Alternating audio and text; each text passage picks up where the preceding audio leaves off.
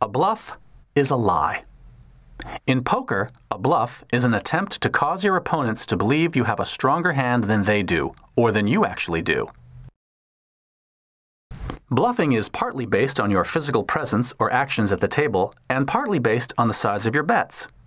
Bluffing is rarely pulled off by only checking or calling. Those are usually the actions of players holding average hands. Normally, betting or raising is required. Bluffing is a particularly important technique in no limit Texas Hold'em, since you can go all in on a single bet at any time. Obviously, it takes nerves of steel to go all in on a bluff, but if you played your